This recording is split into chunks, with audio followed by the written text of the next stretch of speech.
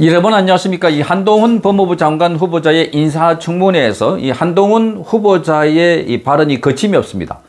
자, 이 야당, 여당 의원들이 집중적으로 한동훈 후보자를 견제하고 비판하고 공격하고 하지만 아, 조금도 물러섬이 없이 자기의 소신껏 발언을 하고 있고 어, 그러다 보니까 이 더불어민주당 의원들이 판판이 물었다가 질문을 잘못 어, 하는 경우도 있고 또 질문하는 방식 문제를 놓고 많은 비판을 받고 있습니다. 뭐 최강욱, 김남국, 이수진까지 최강욱은 한동훈 후보자의 딸 이름을 하고 거론하면서 자 이 뭐 기관에서 나온 한 한국 3M을 그 한자가 나왔다고 이게 한동훈 후보자의 딸이다 이렇게 했다가 망신을 당했습니다. 그것도 개망신을 당했습니다.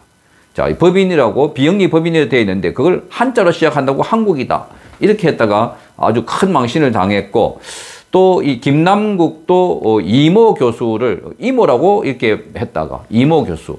그 어, 엄마의 고모 이모 할 때 그 이모인 줄 알고 그렇게 했다가 친인척 비리로 몰아가려고 했다가 이렇게 비판을 받았고. 자 이수진 의원은 마치 술을 먹은 것처럼 어, 이 고래고래 소리를 질렀다가 이게 이수진의 직권 시리즈라 해가지고 지금 영상이 돌고 있는데 아무래도 술을 마시고 들어오지 않았을까. 뭐 이렇게 묻다가 하도 뭐 이상한 음, 행동을 하니까 옆에 있는 의원들이 동료 의원들까지 웃으니까 왜 저를 보고 웃습니까? 하고 또 고함을 지르고. 자, 이런 상황에서도 이 한동훈 법무부 장관 후보자 당당하게 자, 이 어, 제 총문회에서 문재인에 대해서도 아주 적격탄을 쏘게 됐습니다. 이번에는 또이 어, 민주화 운동 관련해서 윤호중과 유시민에 대해서 아주 적격탄을 쏘았습니다. 과거에 서울대학교 다닐 때 이른바 서울대 학생 프락지 사건, 민간인 프락지 사건이 있었는데, 자, 민간인이라고 어, 안에 서울대학교 들어와서 뭔가 정보를 켜는 프락치라고 해서 윤호중과 유수민이 민간인 뭐 몇 명에 대해서 이렇게 고문을 했던 사건이 있었습니다. 그걸 끄집어낸 겁니다. 자, 이, 원래 민형배 더불어민주당, 아니, 무소속이죠. 꼼수 탈당했던 민형배가 검찰 안에서도 이렇게 에, 뭐 도륙을 했다. 조국 가족에 대해서. 그래서 수사 자체에 대해서 뭐 어, 불합리한 수사, 어, 고, 그, 그 무자비한 수사 이런 걸 가지고 어, 비판하면서 사과할 뜻이 없냐 하니까 아니 과거에도 민주화 운동을 했다는 사람들도 뭐 이렇게 민간인을 고문했다는 이런 이야기가 있다. 그걸 끄집어낸 겁니다. 그렇다고 해서 민주화 운동했던 사람들이 전부 다 그걸 잘못했다고 반성하거나 하지 않았지 않느냐 또 이렇게 아주 대받아친 것입니다. 자, 이게 바로 서울대학교 민간인 프락치 사건, 민간인 프락치를 몰아가지고 고문했던 사건인데 지금 더불어민주당의 비대위원장이라고 있는 윤호중 이자가 과거에 그런 일도 했고 유수민도 그런 일을 했다. 그래서 유죄를 선고받았던 사실, 사건입니다. 자, 이걸 가지고 과거 역사까지 꼬독 어, 하나씩 끄집어내 가지고 그들의 민낯을 어, 청문회 과정에서 역공을 펴고 있는 모습입니다. 자, 한동훈 어, 법무부 장관 후보자가 이 조국과 관련해서 설전을 벌이다가 과거 민주화 운동 어, 민간인 고문 사건이 언급을 했는데 자, 이 국민의힘은 현 민주당 지도부가 이 사건에 연루된 점을 부각하면서 함께 역공을 폈습니다. 자, 민형배 의원이 법사위에서 진행된 인사청문회에서 자, 조국 일가족 도륙이든 노무현 전 대통령에 대한 것이든 사과할 의향이 없는 것이냐 이렇게 물었습니다. 그러자 한동훈 후보자는 자, 이렇게 말합니다. 네. 노 전 대통령에 대해서는 제가 관여한 바가 없고 어, 조국 전 장관에 대해서는 제가 관여했는데 사과할 사안이 아니라고 본다. 이렇게 설명을 했습니다. 자, 민형배가 이렇게 말합니다. 과거 검찰은 소위 비둘기 태우기 수법으로 과잉 수사를 했다. 이렇게 말했습니다. 피의자를 무한정 대기시킨 뒤에 돌려보내는 식의 이런 압박이라고 합니다. 이게 비둘기식. 자, 그러자 한동훈 후보자는 과거 민주화 운동을 하던 경우에도 민간인을 고문하는 사람들도 있었지만 그렇다고 민주화 운동 전체를 폄훼하지 않지 않았냐 이렇게 받아쳤습니다. 자, 이게 핵심입니다. 민주화 운동을 어, 했다고 민간인을 고문하는 사람들도 있었다. 자, 그, 그리고 난 뒤에 관여하지 않은 특정한 사안을 들어서 어떤 기관 자체를 폄훼하고 그 기능 자체를 없애야 한다는 것은 동감하기 어렵다. 이렇게 말했습니다. 그러자 민영변은 잠깐만요. 민주화 운동을 하던 분들이 민간인을 고문했다고 하셨나요? 하고 되물었습니다. 그래서 한 후보자는 저는 그렇게 알고 있다. 이렇게 말했습니다. 자, 그래서 민영변은 자료를 제출해 달라 했고 한 후보자는 그렇게 하겠다라고 응답을 했습니다. 이후에 국민의힘 유상범 의원은 자 84년 서울대 프락치 사건을 말하는 건가라고 하면서 당시 신문 기사가 담긴 패널을 꺼내들었습니다. 자, 유 의원이 펼친 패널에는 붉은 글씨로 윤호중 민주당 공동 비상대책위원장의 이름이 적혀 있습니다. 자, 그래서 지금 여기 보면 유상범 의원은 이 사건에 현 민주당 지도부와 소위 진보적인 지식인이 많이 관여돼 있다. 이렇게 말했습니다.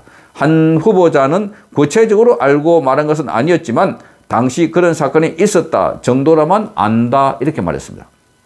자, 일명 서울대 프락시 사건은 1984년 일부 서울대 학생의 간부들이 4명의 민간인을 감금하고 프락치 활동을 했다는 자백을 강요하면서 폭행한 사건입니다.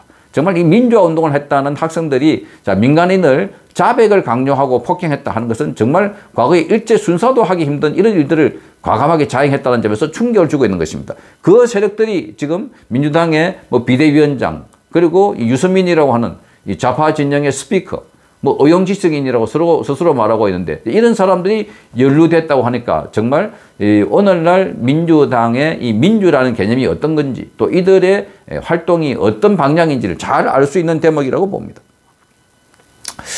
자, 이 유, 어, 이 사건과 관련해서 어, 윤, 어, 윤 위원장을 비롯해서 자, 유시민 노무현재단 이사장이 실형을 선고받았습니다. 자, 이 유시민은 2004년 총선에 출마하면서 이 사건 관련자들이 민주화 운동 유공자로 이미 명예 회복됐다. 이 사건은 전두환 정권이 저를 조작으로 엮어서 넣은 사건이다 설명했는데 당시 폭행 피해자는 유시민을 허위사실 공표 혐의로 고소했습니다. 그런데 대법원은 유시민에게 무죄를 선고했습니다. 대법원은 이 사건 관련자들이 민주화 운동 유공자로 명예회복됐다는 유시민의 표현은 허위사실이다 이렇게 말했습니다. 그러면서도 이를 기재할 당시에 자, 유시민이 허위일 가능성을 인식하지 못한 것으로 보인다 이렇게 판단했습니다. 아주 뭐 이 법원 판단도 애매한 겁니다. 그러니까 분명하게 허위 사실임에도 불구하고 그런데 허위인 줄 모르고 이야기했다. 이렇게 이야기를 하고 있는 것입니다. 그러면서 전두환 정권이 저를 조작으로 이끌었다 하는 표현도 다소 과정되기는 했지만 보는 사람에 따라서 다르게 볼 수 있는 단순한 의견 표명에 불과하다. 뭐 이렇게 해서 어쨌든 면죄부를 줬는데 민간인들에 대한 폭행, 고문이 있었던 것은 사실입니다. 이 신문기사를 보면 그렇습니다. 그래서 지금 어, 이 윤호중과 유시민, 자, 이 민간인에 대한 고문 어, 이 폭행을 해놔놓고도 지금 민주화 세력을 한다고, 민주화 운동을 한다고 설치고 있는 것이 윤호중이고 유시민이다. 그걸 바로, 어, 지금 한동훈 법무부 장관 후보자가 인사청문회에 와서 직격탄을 쐈습니다. 그 앞에는 문재인에 대해서도, 자, 이 대통령의 민간인에 대해서, 어, 이 고소를 해가지고, 어, 이 기소가 된 적이 있었는데, 감히 이 법무부 장관인 내가 뭐 한겨레 신문 기자들 세명에게또 네명에게 고소했다고 그걸 취하라 하는 거, 그 대통령도 그렇게 했는데 뭐 법무부 장관이 그렇게 하면 안 되냐? 이런 식으로 발언을 했던 것입니다. 자, 오늘, 어, 어제죠. 어제 오늘 새벽 사이에 이 한동훈 법무부 장관 후보자가 인사청문회에서 문재인과 그리고 또이 이 윤호중과 유시민 직격탄을 쏜 겁니다. 자, 이걸 보면 한동훈 법무부 장관 후보자가 왜 이 민주당 인사들에게는 두려운 존재인지를 잘 드러내는 대목이고 앞으로 그의 이 활동에 많은 국민들이 기대를 하고 있습니다. 그동안 너무나도 철저하게 어, 당하기만 했다. 좌파 세력들이. 그런데 우파 진영에는 이렇게 싸우는 사람이 없나 했는데 자, 이 법무부 장관 후보자가 이렇게 강한 전투력을 갖고 있다는 걸 또 한 번 청문회를 통해서 확인돼서 많은 사람들이 지금 댓글을 달고 응원하고 지지하고 있습니다. 그야말로 한도훈 신도롬이 일고 있다 할 정도입니다. 성창경 TV였습니다.